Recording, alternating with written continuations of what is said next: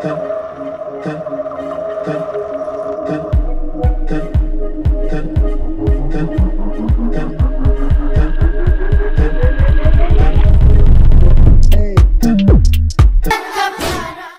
Video, अगर video अच्छा लगा हो तो लाइक कीजिए कमेंट कीजिए कि आप गाइज़ मैं आप ही लोगों का कमेंट सुनूँगा।